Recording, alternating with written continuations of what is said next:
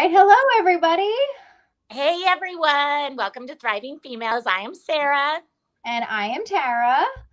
Um, and we are so excited to be here in August. We know we took a couple weeks off, um, but we've got Lorna Bracewell here with us, and I have the privilege of working with Lorna at Flagler College. But I would love for you to take a little bit of time, introduce yourself. As I was picking some things to put up in your bio, I was like, I had no idea about this. Oh, this is just so fascinating, and I love seeing all your little updates. So tell us about you. Sure. So, yeah, I'm an associate professor of humanities at Flagler College. I teach in the political science program and in the women's gender and sexuality studies program. And I yes, there's probably more about me, but that's kind of all I know. So, when you are not teaching at Flagler, what else do you do with your time? Oh gosh, I mean, it's kind of terrible. This is like the terrible thing about being an academic is your work is your hobby is your life can, like all that can blend together so yeah i mean I, I i read and i i write and i think and then eventually my butt starts to get sore so i go and walk my dogs. Oh my goodness you so lorna what kind of dogs do you have? Tell everybody because tara and i have labs. Well my my wife just walked out with them. I would love to like bring them into the oh wait go, like, there they oh, are. oh very cute. Your research. Oh yeah. Hey we're, we're good at this stuff. Oh those are so cute this is rafferty. He's our he's he's our firstborn male. That's what we call him. Um he's 12 years old. He's a miniature schnauzer. Um, he is a really sweet dog once you get to know him, but you know, if you have the misfortune of, you know, knocking on my door, like as a UPS delivery person or a postal worker, or something like that, um, he does not make a good first impression. Um, very protective um, of his domain. Yeah. and then we, since I put these up on my website a thousand years ago, we got it. We got a second dog, Micanopy, who is also a miniature schnauzer. She's just about three, and she's the opposite personality. She is Miss Congeniality. Uh, uh, the only language she speaks is love, and um, she's never met a stranger. So we we have you know pretty polar opposite uh, dogs. We, we we span the spectrum of miniature schnauzer personalities. I had I know my sister's watching right now and thinking we had a miniature schnauzer Dawkin when we were younger growing up and he was the best little dog. He lived forever and he said they're a good breed. That's what that's what we're we're hoping for too with Raph. You know, he's he's 12 so like he's he's pushing it there but he's he's so Lorna, like we did our research, and then um, before we really dive into some of your really cool projects, we also saw. I said, "Oh my gosh, Tara, she sings. What? uh, what is this? Like, are you a big time? You had stuff on iTunes and Spotify. I used to. So yeah. Well, so yeah, this was when I was I my first job out of graduate school was um, in rural Nebraska. I was I was an assistant professor at the University of Nebraska Kearney, and um, I'm here performing at um, a March for Science event that some of my students organized. And this uh, young man who, who's playing the violin with me is Caleb Rohr, who's like an extraordinarily talented uh, musician and political science student there. And they kind of like cajoled me to to dust off my my guitar and and get up there and provide the entertainment for the March for Science rally. Um, but yeah, I mean, that's probably the last time that I performed live in front of people. And that's, that's been four or five years ago now, uh, maybe six now that I think. What kind of genre do you guys, what do you like lean towards? Um, well, I, I used to do the like earnest folk singer songwriter yes. thing, you know, like it was very like 90s, early aughts, like um yeah but i mean it feels like such a different a different life. If it's funny i'll have students who like google me right? Um because that's what we do now and uh, yeah. they'll come up to me before class and they'll be like dr bracewell did you know that there's a musician with your same name? And you're like i look so different like i i was way more well, first of all, I was younger. Um, I was like way more feminine presenting back during my my music career, so they don't even make the connection that it's that it's me. so you don't just bust out your guitar and just hang out and start singing songs anymore. I mean, like Christmas, you know, with family, like you know that that kind of thing. But I don't, I don't even have them out. Actually, we painted, we painted the room, and I had them hanging on the wall. But then when we painted the room, I, I never put them back out. So I guess that scratches you go doing live entertainment right now for us. yeah, no, oh man, I'm so, I'm so rusty. It's kind of awful because like when you used to be good at a thing, it's hard to like pick it up again after many years and be not good at it. It's like a terrible feeling. So I, it's like I feel that way. Like um, I'm 38, so like I'll go and like shoot baskets with my nephew, and like I so vividly remember being like 16 years old and like really good at basketball, and now I'm like this like decrepit like you know. Oh my gosh! I went to David I, Buster's with my daughter. like you know, I my knees hurt. You know, yeah. this is a terrible mistake. Take the basketball back. Take it back. yeah. Tara and I know very much. I was at Dave and Buster's last week with my daughter, and I used to like own that basketball game in the back. And when I went, I was like, "Oh God, this is embarrassing. Who's looking?" Like, yeah, that's how I feel when I pick up my guitar. I'm like, man, I I used to be really good at this. You're like, here, let me just show you on iTunes real quick. So, um, Lorna, tell us how you got into your field of study because I think it's very fascinating. Yeah, so I actually, I before I was a professor at Flagler College, I was a student. Mm-hmm. I uh, did my undergraduate degree at Flagler College uh, from 2001 to 2005, and I I majored in political science and. Um, the, the person who is now our vice president of academic affairs at the time was the only political science faculty member. Um, now we we have you know three full time or four if we still count Art Vandenhouten.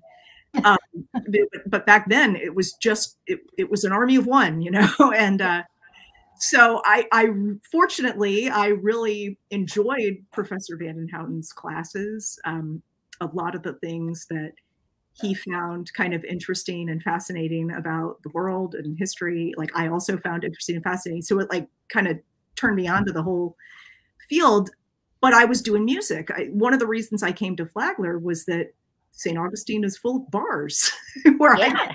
i gigs and i could like you know pay for like my life and stuff. You know so when i graduated college i kind of i was at a little crossroads. I was fortunate enough that I was successful enough as a musician that I had a lot of opportunities to start touring more and um, you know kind of leveling up into that next professional tier as a as a performer. Um, what I really wanted to do was go to graduate school and study political theory, but I kind of you know at 21 you know thought like well, I have this opportunity to do this music thing. I'm never going to have the opportunity yeah. to do that again. Graduate school will always be there. So I took um, five or six years and I, I worked as a professional musician and I enjoyed it. But when I was, it was very clear to me when I was done, you know. Um, and so at that point, I applied to graduate programs and kind of picked up where I left off. See, you're really putting this a little bit on the down low. You're singing. You're like, I was a professional singer. I'm like, did you get to travel all over the United States? Did you go all over the world? What did you do? I did. Yeah, I I I did a lot of um, I did a lot of college campuses. Um, you know, student activities boards and stuff like that would hire me to come and play events. I did a lot of like you know smaller performing arts venues um, kind of black box theater, you know, 300 seat kind of things. Um, I played a lot of bars and coffee shops and folk festivals and women's festivals and, you know, all those um, sorts of things. And yeah, so I mean, I I went I went all kinds of places. In fact, I even went to Nebraska because uh, when I when I got my job interview at University of Nebraska Kearney, um, I was one of the rare candidates for a position there that had actually been to Lincoln, Nebraska one time, and you know, like, you know, so yeah, I performed at that theater and you know whatever. And, um, That's awesome. Yeah, and then and then I got to I got to tour a lot in in mostly um, Western Europe. Uh, the furthest east I oh. made it was Czech Republic. So, yeah, I don't know if this is still the case, but back when I was doing it, there was actually like a big audience for kind of Americana music in like Germany and um, Czech Republic and Denmark. And so um, I kind of got hooked in with some people who who booked in that circuit over there. And yeah, I, I got to be this kind of like American curiosity, you know. Um, and they all wanted to know where I kept my horses and oh my gosh. all sets of John Wayne movies. Like we have like, you know, houses and cities and the stigmatism of what America looks like. We all have barns and horses and yeah, it was it was it was fun. So yeah, that was when I was like in my early 20s and you know, it, it, it's one of these things like in retrospect, I'm like, oh my God, like I can't believe I did that. I can't believe I lived. yeah. like, I, I was I would never do it now. Like I'm like I'm 38, but that part of my brain that connects like actions to consequences and can get yeah. Like the worst possible outcome. Like it functions now, and I would not stay in some of those musicians' apartments that I stayed in when I was. like they have these like beds of hay above the bar. Oh my know? gosh. but it gave you a good perspective on life moving forward to when you became a professor. Do you think so? Yes. Like I always tell my students, you know, when they're just on the precipice of graduating and they're they're really smart and they're thinking about graduate school, I always say to them, is there anything else you could imagine yourself doing? anything at all. Because if there is, you should go do that first. It's just like in my case, graduate school will always be there. And a big asset once you're actually pursuing a PhD or you know trying to make your way in academia, a big asset is having some like professional experience and, and skills from like other facets of the universe. Like, so you know, first of all, like when I got in into my PhD program, you know, I, I had a I had like a five or six year fellowship and I was getting, you know, twenty thousand dollars a year, which was like really generous and fantastic by graduate school standards. But for anybody who's ever had like a grown up job, how could you imagine doing that? You know, for me, I, I had been a folk singer. So I'm like, I can go to the dentist. you know? And then like when it came time to like go to conferences and network and talk about my my research i had developed all those skills because I, I had had to market myself and promote myself as a, as a musician and i cultivated that kind of sense of separation between myself and my work that makes it gives you a thick skin and makes you more comfortable kind of doing all so anyway i had like developed all those skills without even realizing that's what i was doing. And then when i got into graduate school i'm like oh wow like i'm kind of starting out ahead of the pack here because um, I, I know how to work a cocktail party or you know like, if you were a little more worldly about things that were going on sure sure and i was just like more able to like be like here's my vision here's my idea do you hate it or do you like it? And if they said they hated it, I would be like, okay, on to the next one. You know, I learned to not take it so personally. Oh, I learned I need that shake. Because sometimes I'm like, why? Tell me why. I don't get it. no, I mean, it's like, there's a lot of fish in the sea. so, Lorna, could you maybe share more about like your your passion areas in your research and what you've dedicated so much time to? Sure. So I specialize in political theory, which is a kind of subset of political science. Um, political science as a discipline is more like a social science, like a, a sociology or an economics kind of discipline. Um, political theory is this like little corner of the discipline of political science that actually is the oldest part of it.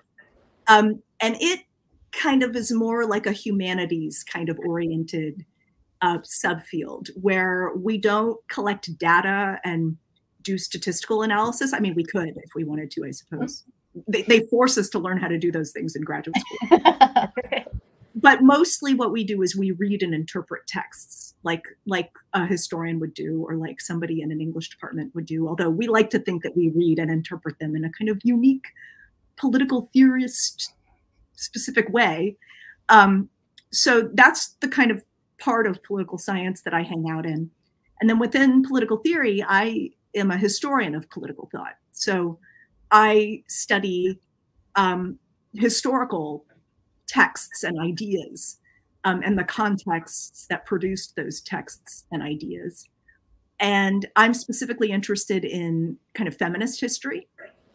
So my my book that came out last year is a revisionist history of the feminist sex wars. And the sex wars were a bunch of debates that happened um, amongst feminists in the 1970s, 1980s, and 1990s about a whole range of issues like pornography and sex work and BDSM and just a whole a whole bunch of issues pertaining to sex and sexuality. So um, what I try to do with my research on the sex wars is uh, capture for contemporary audiences the kind of richness and fullness and nuance of those debates because they tend to get kind of flattened when the sex wars are talked about, if they're talked about at all it's in a really simplistic, reductive way. You know. Yeah, here's that book. Oh, there we go. You yes. got, got it going on over there with the. I'm trying. I always say Tara's my techie person. She is good at this stuff. now, is is that on Amazon, Lorna? Yes, but don't buy it from there unless you absolutely have to. oh, okay. So go to your website and buy it. Or go to the publisher's website or go to okay. your favorite local bookstore you know like that. that. that doesn't you know make workers work so much that they have to piss okay that is fair that's oh and that's um like when sarah and i were talking about just different guests and stuff like that you were one that came to my mind so quickly and it was actually right after you i guess presented or spoke at the school board um, or with the city Oh my gosh, yeah. Whew. Yeah. Um, and so share some of like the community things that you do because I didn't get to listen to a whole lot watching it without sound like i could feel your passion so what are some of those things that you like, did? on that microphone like as long as i hold on to this i will yeah fly off in a fit of blind rage and passion um yeah no i mean i I wish I would do more of that. Like, I feel like, um, you know, as political scientists, we spend a lot of time, you know, studying um, things like democracy or, you know, theorizing things like citizenship. Um, and we certainly spend a lot of time talking to 18 to 21 year olds about those things.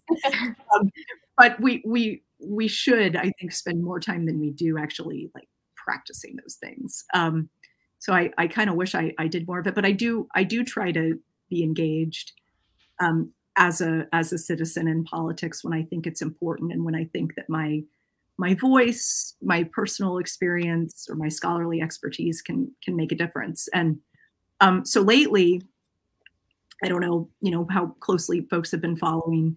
This is happening local school boards all across the country, but it's also happening here in, in Duval County and in St. Johns County.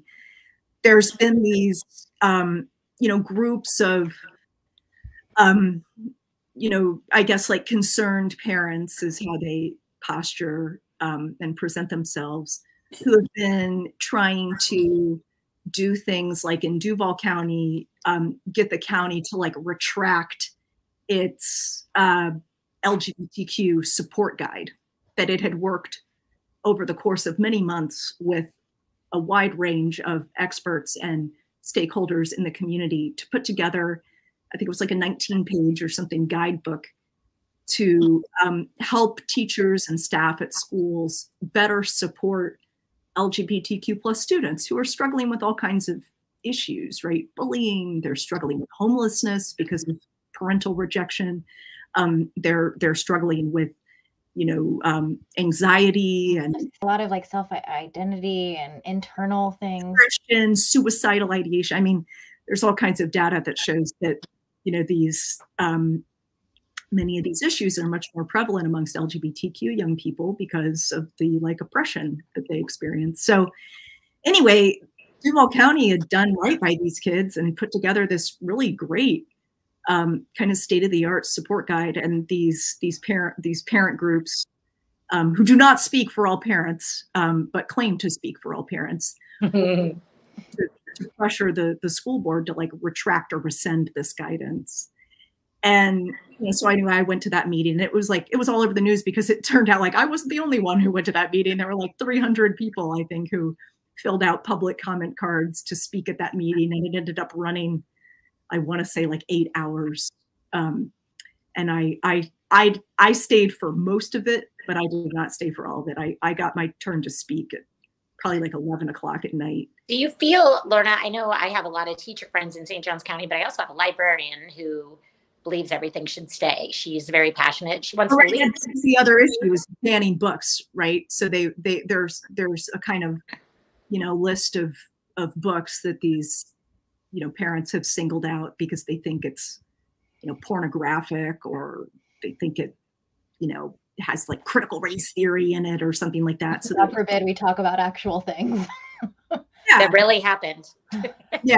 Um, so anyway you know they're trying to pressure kind of bully frankly um, school boards into you know, removing these books from libraries. So anyway, I didn't mean to interrupt you. You were talking about your friend who's a librarian. No, she's a librarian and she there she does a lot of the support groups, but she also does um she is very she's almost on the end of her retiring and she posted the other day that she's very frustrated, you know. They're taking certain groups away or wanting them to be taking certain groups away, but they're also trying to take, you know, books away from kids. I even had, you know, kindergarten, first grade teachers that are like there's some really good books out there that you know families that have two moms or two dads they want to take those out and they they want to keep them in there. They said it's so important because it teaches us kindness. It teaches there's more than one way to have families. And i feel like every teacher i talk to they they struggle with this controversy from i feel like it's a small group of parents. Do you or do you think it's a lot?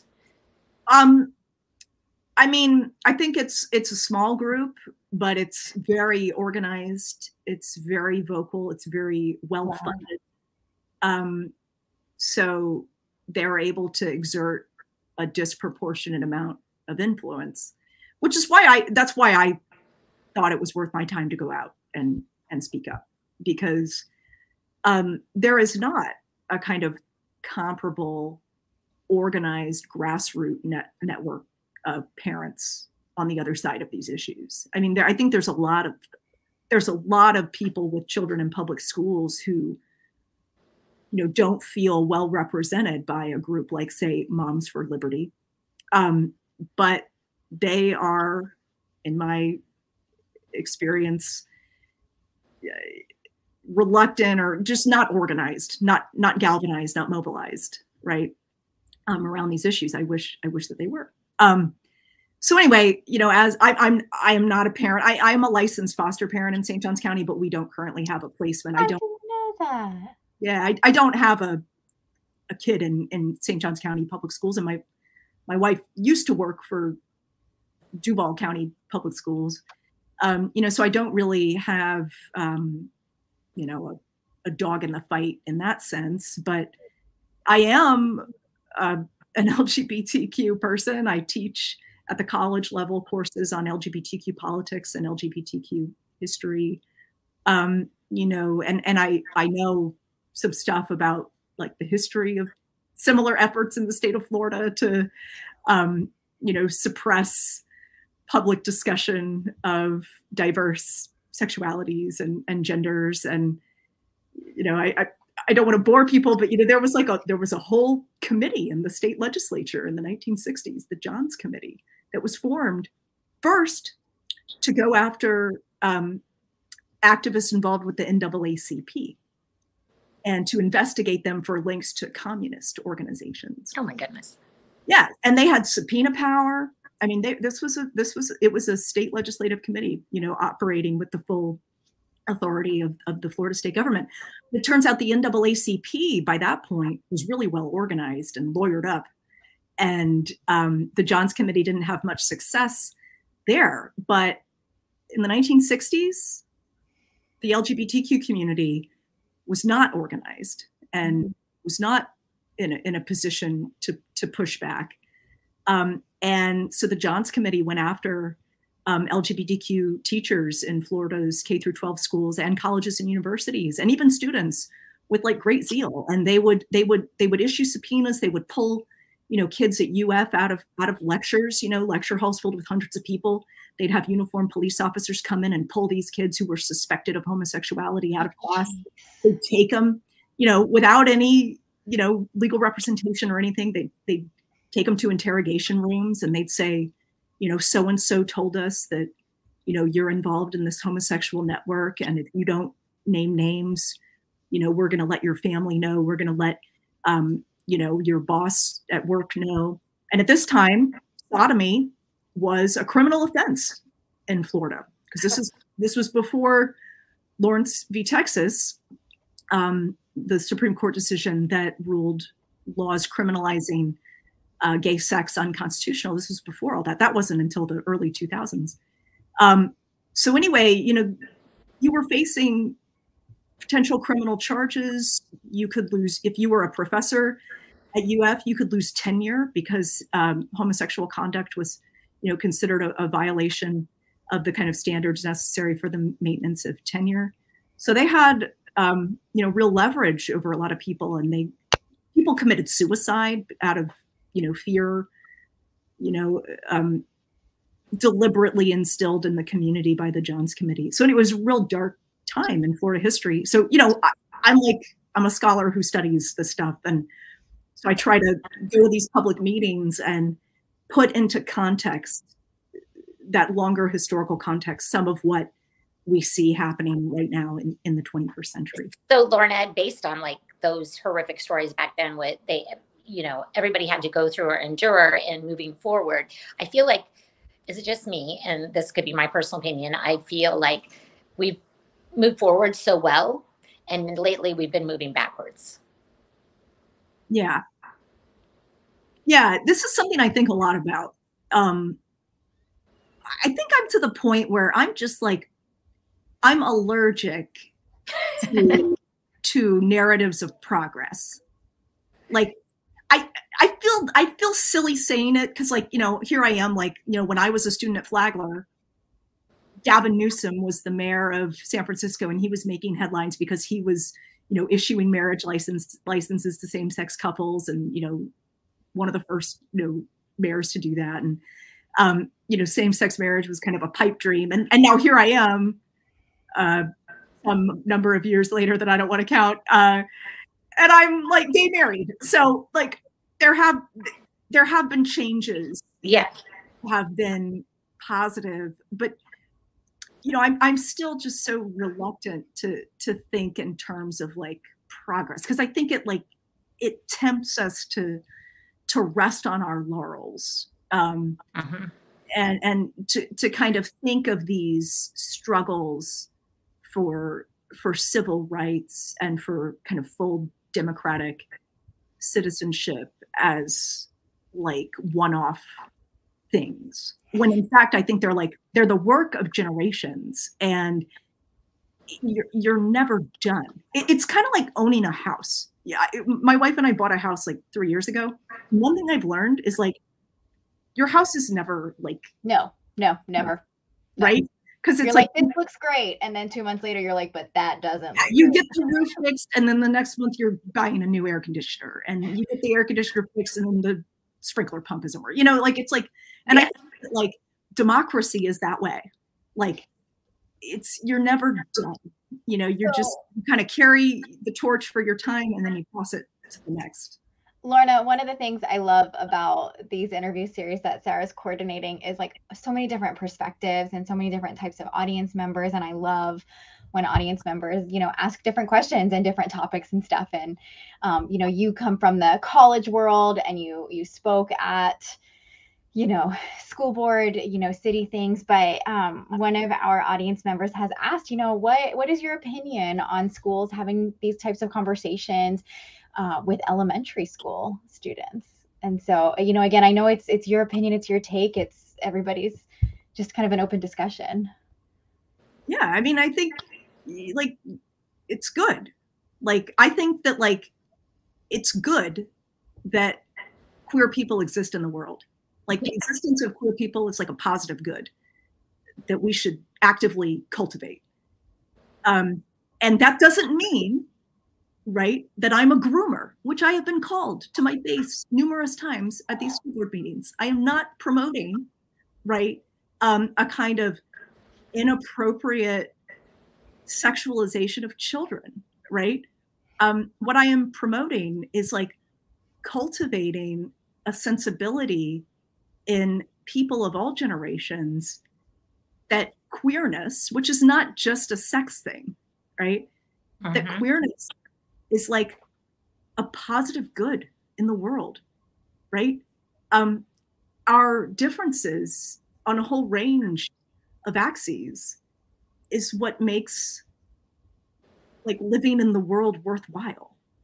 Um, and I think that queer people and i mean that in like the most expansive of senses right when i when i say queer people i mean um like i mean literally like the etymology of the word queer it, it means kind of you know it, it's kind of like like twisted um like if you think of a um, there's a british expression queer the pitch right it's it's like it's like askance um and I think that people that are like askance, that like kind of don't fit into the world in the way that the world currently exists, are like a good thing because yeah.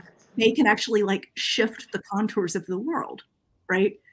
Um, and make it a richer, broader, more fully human place. So yeah, I mean, I think that it's like vitally important, you know, and like I had to I have nieces and nephews, and I had to explain to them kind of like what's the deal with Aunt Lorna because Aunt Lorna looks like a boy, right? And you know, my my nephew, kids are like very obsessed when they're like in first grade with like gender. Like it's, it's actually quite weird. Like, and I, I I'm like literally the program coordinator for a gender studies program. I'm not as I'm not as obsessed with gender as like as a first um, grader. Um, but yeah, I mean, like my cut or my nephew, he was just like, he's like, you look, you look like a boy. Aren't you just a boy? And I'm like, no, no, dude. like, I don't, I don't know what to tell you, man. And he's like, but, but you're not a girl, right? And I'm like, I don't know, man. Like, I guess sort of, but I see where you're coming from with that, right? but I love that you created this comfort zone for a first grader to to ask, and then that you had that conversation. And it, they do. I mean, kids. Yeah, kids are queer. Like, talk about askance, askew, like not fitting. I mean, that's kids, you know, and then they're they're constantly, you know, making adults uncomfortable. Yeah, don't know how to be right, and which is what I love about them so much. It's like, please never learn how to be. Um, and so anyway you know these conversations as long as queer people exist in the world and interface with children which we will because many of us have children many of us started out as children um, then it's it's vital not only is it appropriate it is vitally important um, to talk about queer existence with kids. And just like anything with kids you got to talk about it with them in like a kid way you know? Um but don't you think Lorna... use the word etymology because i need you to make that a kid definition for me. Oh etymology it just the, the kind of um if you trace back in language the root of a word like queer that's etymologists are the people who do that tracing back in in history um, to get us at like the kind of like origin of a of a particular word. My Lorna, don't you think word. that um, I always feel like sometimes we as adults we can ruin the younger generation of their innocence. I mean, you know, they probably your your nephew probably was like, okay, cool, whatever. After you explained it, moved on. It's the same with racism or being queer. Okay, got it. But they don't see that. I feel like us as adults, we don't do good by, you know, not letting them see that because I, I don't think if we I still think that's there because it's a it's a learned behavior. Yeah. Yeah. And like if we're not talking to them about it, that doesn't mean they're gonna like stop seeking out information about it or learning about it. And that's frankly like that's that's the problem. So like if you look at statistics on, you know, rates of bullying, which I mentioned briefly earlier, you know, LGBTQ kids, especially trans kids, they are like disproportionately subjected to bullying, taunting, physical physical bullying, threats with weapons on school property. You know, the the CDC tracks all this stuff nationally, and LGBT kids are like the most likely kids to experience this kind of violence and this kind of aggression at schools. And the reason is that it's not the reason isn't that kids don't learn anything about gay people. It's that what kids learn about gay people is that they're disgusting monsters who are uh, justifiable targets of this kind of violence and this kind of verbal aggression. That's what they learn in the mm-hmm. absence, you know, of of people like me uh, talking with my nephew. That's the only exposure that he has to, you know, conversations about sexual orientation and gender identity. And you know, so I think that like we have to go in there and counter those you know, oppressive narratives about LGBT people with the truth, which is that like LGBT people are just like all the other people. Like we suck. We suck just like all the other people. like disappoint you and manipulate you and lie to you and mistreat you, just like all the other people, you know? Exactly. Man, I don't know if you're looking at some of the questions and stuff. I love when people feel comfortable to ask questions and everything, but I feel like you just answered it. Is I think a lot of people are like, just how do we have these discussions? It doesn't necessarily need to be just with kids. It doesn't need to be just with college students or you know things like that but these tough topics like all of that how how how do we have these discussions like you just put it out on the table yeah i mean just just tell them the truth. I mean don't tell them stuff that like is don't burden them with stuff that they don't need to know right? They'll get there. Um but you know like i could i could tell my nephew like you know i'm i'm a little bit of a boy and i'm a little bit of a girl and i'm not like other girls that you were probably going to meet you know? But there are some other girls that you'll meet that are going to be like me. Um and he like kind of gets that you know, I don't know now. Now he's like 14, so I got him. he doesn't talk to me anymore. He just stares at his shoes and you know. So Lorna, then I go back to so don't you think like I had trouble with the whole taking the books out of the school because they didn't want their kids but to learn stuff. But I'm pretty sure 99.9% of the the kids have phones and they they see way more on there than yes. ever some of these books. Oh God, yeah. I mean the internet. Yes. Um, yeah. So to think that, you know, and that seems to be the kind of fantasy, you know, and I'm, I'm just basing this off of what I hear um, some of these folks say in public comment at school board meetings that I that I've attended. You know, the, the kind of fantasy is that like a world where queerness doesn't exist, where it's like totally stamped out from existence. And like, first of all, like I think that is like a genocidal fantasy um, that is impossible to achieve and monstrous, morally monstrous. Um, second of all, like good luck with that. It's impractical. like you know, like um, yeah. So you know, yeah, maybe maybe you can win a kind of skirmish here and there, and and keep a book out of a school and do like a tremendous amount of needless, useless harm in the process. But your kids are gonna they're gonna find out. They're gonna see a drag queen. Yes. Oh my God. They're good. And we just saw one this week. When did we see it, Tara? We went to drag queen show the other day. we went last weekend. Tara is drag queen obsessed. That's where we had to go for her birthday. Sorry, they are just beautiful and amazing, like performers, and I love the way they live their life. And I yeah, they, I, if you watch Looney Tunes, like Bugs Bunny did drag, like you know, like it's it's like I don't know. I mean, I don't know. We were all jealous of their butts. We're like, look at their butts, perfect. Um, it's amazing. I always say, like, you know, the reason I'm a butch instead of a femme is I'm lazy. At least you're honest. I don't want to work that hard. Like, it's a lot of like. What does Dolly Parton always say? Like, it costs a lot of money to look this cheap. Like. it takes a lot of work to look that good. And like, I'm just, you know, happy to put on a flannel and. Oh, well, Lorna, I love this question that we got from somebody. Um, Bailey oh. asked, how can we oh. become oh. an ally? Like what? That's my niece. I'm very proud of her for asking that.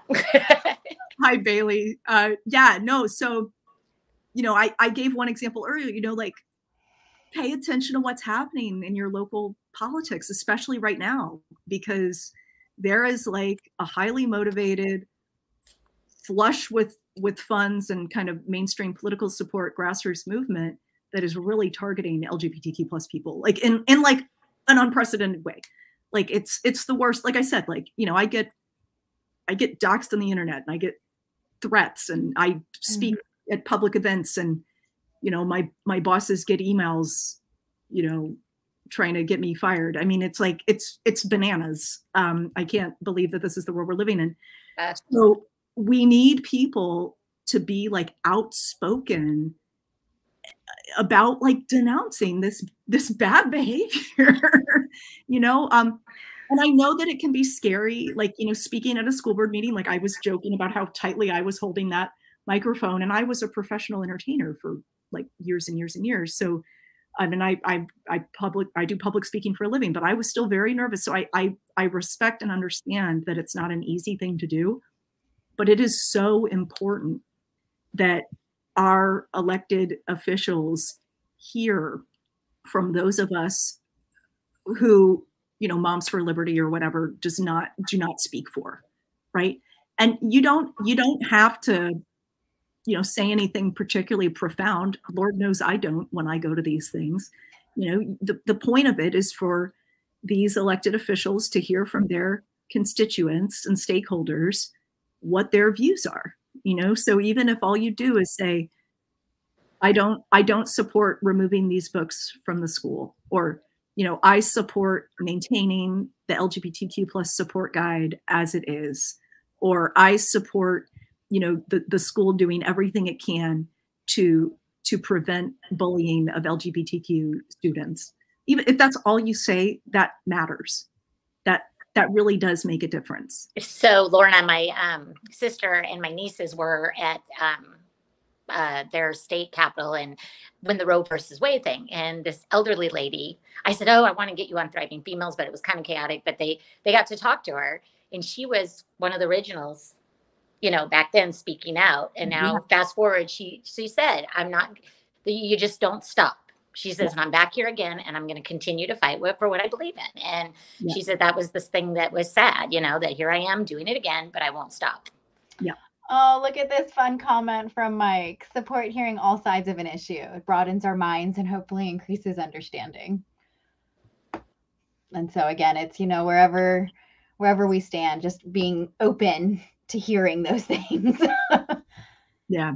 And I'll say, like, on that kind of theme, the hardest part of going to those meetings for me as an LGBTQ person is hearing the just the virulently hateful, awful things that oh. are said about me and my people, you know? Um, and you know that I that's a side I would I wish I didn't hear. and see, I go back to Lorna what you just said we, we suck, we do stupid things, we're normal. Why are they saying ugly things about you? You're no different than a black person, an Asian person, a straight person. You know what I mean? It's like we're all the same. And it's mm-hmm. like, I, it, that just, it's, you know, people of color say the same thing. Why are we hearing ugly things? And I, that just blows me my mind in 2022. Yeah. I get a little crazy about it sometimes. I really, I mean, I've, this whole living through this time part of it's COVID. Some my mom is my mom is sick, and some of it's that. Like, but I I've really uh,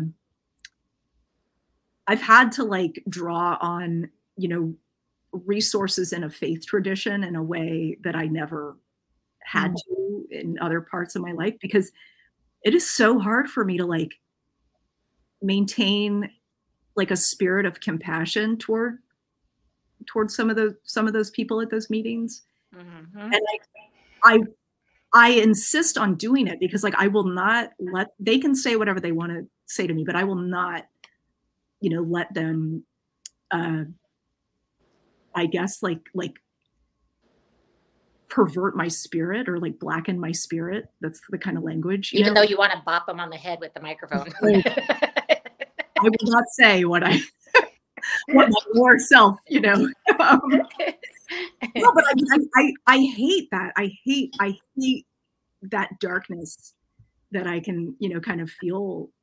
That that's what they're trying to draw out, and, mm-hmm. and not mm-hmm. me and all of us. And you know, um, I forget why I even went on this tangent, but yeah.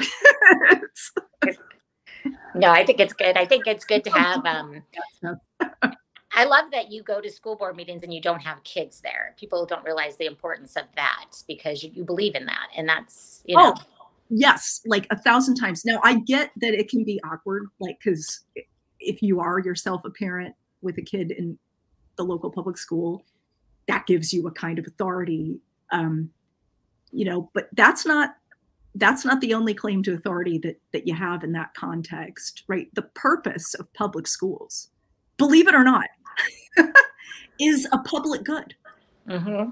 It's not just a private, personal, individual good.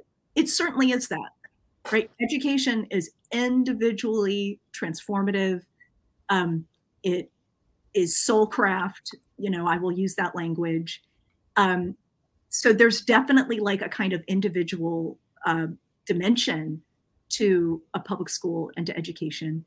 It all schools also provide a kind of private good to individual families. I mean, it's basically like the only publicly subsidized childcare that we have in this country. Right?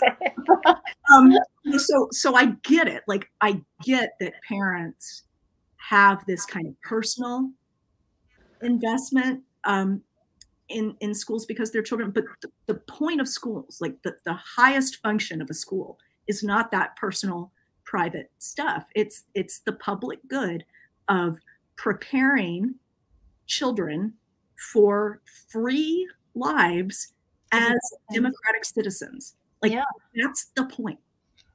Right?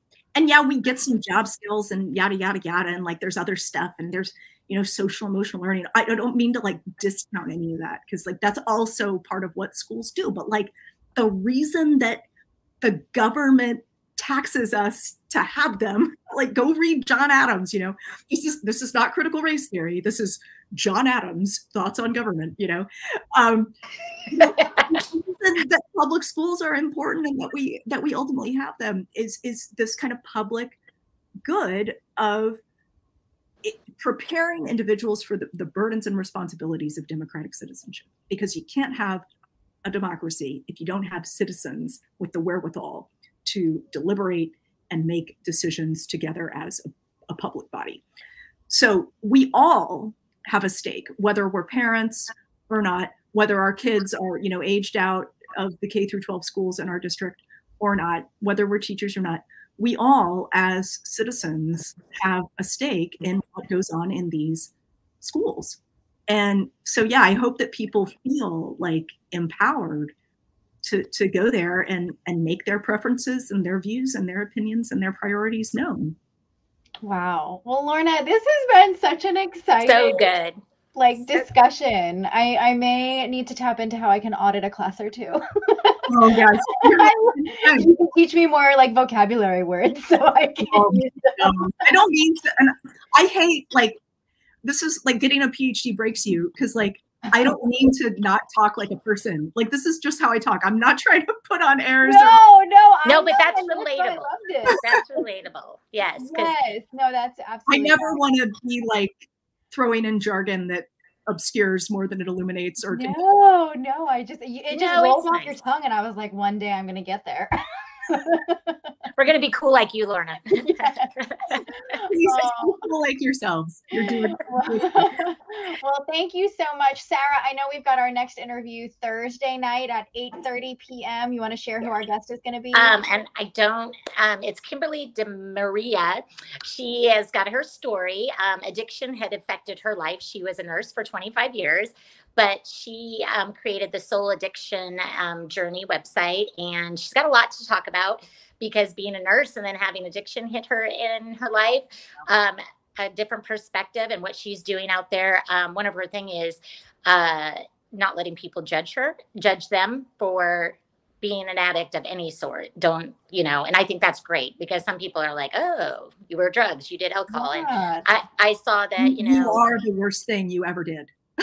What? Yeah, people people want to say that you are the worst thing you ever did. Yeah. And I know her goal is to Yeah. really not have people judge people because they're an addict instead of lift them up and support them, you know, and mm. you know that's kind of the reason Lorna and i was so happy you d- decided to do this because we try to get all perspectives on here but we try to stay i mean we're probably a little biased at times but we try to stay on the kindness preaching it um, and feeding knowledge out there because i believe everybody deserves a spotlight for things that they do in the community or what they're doing in life. Um, we interviewed somebody in um, united kingdom and she like inspired all of us and she was like a little thing she said we were like oh my gosh oh my god i mean i felt like i should walk out like so it's just really fun to be able to put the spotlight on things that you're doing and i'm going to totally check out your songs so I'm gonna-